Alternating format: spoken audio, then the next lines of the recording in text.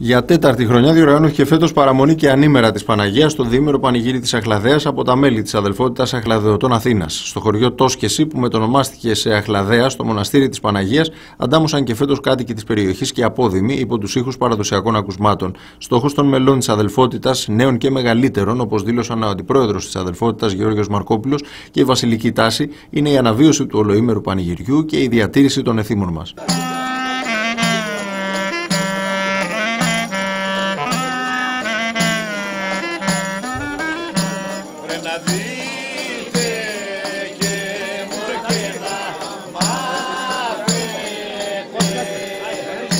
Right.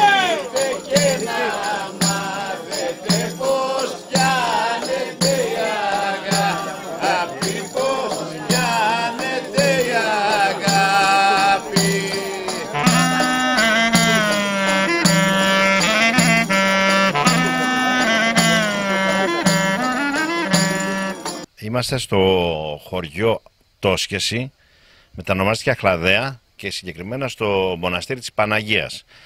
Ένα μοναστήρι το οποίο ήταν από τα πιο δυνατά στην περιοχή και γιόρταζε, έκανε το πανηγύρι του πάντα τις 15 Αυγούστου. Ήταν από τα μοναδικά ε, πανηγύρια της περιοχής και τις 14 το βράδυ και τις 15 την ημέρα. Το πιο δυνατό, ο πιο πολλής κόσμος μαζευόταν τις 15 την ημέρα με το χρόνο λόγω της εμπροματοποίησης αυτό χάθηκε. Κάνουμε μια προσπάθεια σαν αδελφότητα να αναβιωθεί και να πάρει όσο αν είναι δυνατόν την έγκλη που είχε κάποτε σε όλη την περιοχή της Λάκας Σουλίου. Εδώ και τέσσερα χρόνια προσπαθούμε να αναβιώσουμε το πανηγύρι το ολοήμερο.